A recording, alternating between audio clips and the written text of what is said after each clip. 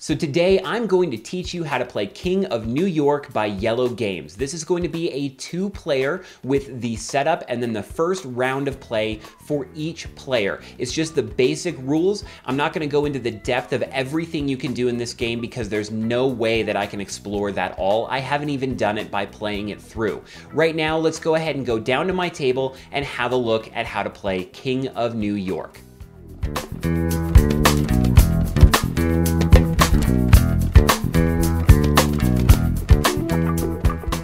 Let's get set up to play King of New York by Iello Games. First, we're going to set up the board. We're going to lay that out on the table. And then we're going to pick out our characters. Today, we're going to use the Sheriff T Rex and the Gigazaur. This is a two player game today because we're just going to show one turn for each player. Get them set up on their standees and then we pull out their cards. The cards have counters with the victory points and the health points. So we set the counter at the beginning of the game for zero victory points and 10 health points. Now, the point of this game is to make sure that you either kill off all of the other monsters by reducing all of their health points to zero or by reaching 20 victory points. So when one player reaches 20, they are the winner, or when all players but one are eliminated, the remaining player is the winner. Up next, we're going to take the six black dice and set them aside. We'll use those more later.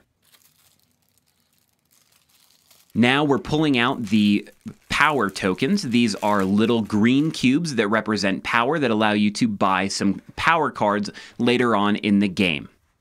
Now we're setting up the star and the Statue of Liberty card.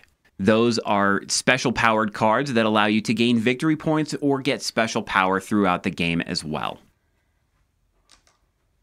We are now setting up three cards from the deck. These are the power cards that you can purchase with those power cubes, and they give you special abilities throughout the game. And then we will set the deck aside because once someone purchases one of those cards, we will have to draw a new one from the deck. We are now stacking buildings in each borough of New York. You do three stacks with three chits each in each borough of New York. So there are going to be three high rises, and you can do damage to the buildings throughout the game. When you damage a building, it gets flipped over and turns into a military vehicle, which gives you other things to damage as well. By damaging and destroying buildings and military vehicles, you can do things like regain health points, get more power cubes, or even gain victory points depending on what's indicated on those buildings or the military vehicles. We now have these two extra dice. Those are supplied because there is one card that allows you to use extra dice when you roll. And now the T Rex Sheriff is selecting the borough they want to start in in New York City and now the Gigazaur is selecting their borough as well. You cannot start in Manhattan, so you have to pick another one of the boroughs. Now we're going to roll to see who goes first. The player that rolls the most amount of the claw or attack symbols is the one that goes first. So we're saying that the Gigazaur rolled the highest, and so they get to go first. We now roll our dice and we get to set some aside and we can re-roll up to three times, setting dice aside as we see fit. So we're keeping a power token or an attack symbol. We're now going to take two of these building destruction symbols, and the final roll we end up with an ouch, a health, and a power.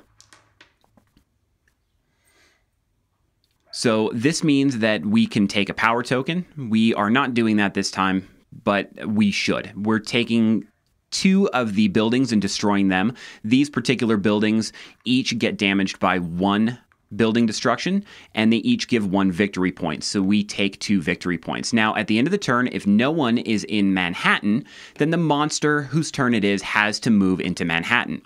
By doing so, they get another victory point and they are required to move into Manhattan if it's empty. And then they still have the one attack point, so they're attacking the T Rex dinosaur. Now, the monster that's in Manhattan does damage to all of the other monsters that are outside of Manhattan. If you're outside of Manhattan and you roll an attack claw, then you're going to attack the monster in Manhattan. So now we're rolling for the T Rex Sheriff. We're going to keep one of these health points because we took damage on the Gigazaur's turn, and then we're re-rolling to get more dice. So we have an attack point, we have a star, we have three power symbols. So we're going to take three power cubes. This will allow us to purchase one of those cards off to the side a little bit later. And then we're going to heal, and we're going to do damage to the Gigazaur. Now, if you're in Manhattan and you take damage, you have the ability to leave Manhattan right away, which is what I'm doing with the Gigazaur because I don't want to take more damage. So that requires the T Rex Sheriff to move into Manhattan, which means they take another victory point for moving into Manhattan. The play goes on like this with a lot of extra variability throughout the game and the again the player who gets the most or gets to 20 victory points uh, first or eliminates all of the other monsters is the winner. So the play goes on until one player either reaches 20 victory points or has eliminated all of the other players from the game. So either 20 victory points or zero health points, and then the remaining player is the winner. I definitely recommend reading through the rules on this just to make sure you're 100% clarified, but this should get your teaching time down to just a few minutes and help you get set up very quickly. I hope you enjoy playing this game as much as I do. Until until next week, thanks for watching. Thanks so much for watching. I'd really love it if you would tell me what you thought of this video in the comments. If you agree with me, you disagree with me, if you have any thoughts or opinions, I'd love to hear it. You can also tweet me at Arthur Rhetorical on Twitter. You can find me on Patreon and Facebook as Rhetorical Entertainment. If you're not subscribed yet, click that little button down there. Also, if you want to see something cool, click the little button over there. I don't know where it leads, but you're gonna find out if you click on it. All I can tell you is that whatever's there is pretty awesome. So until next time, thank you so much for watching.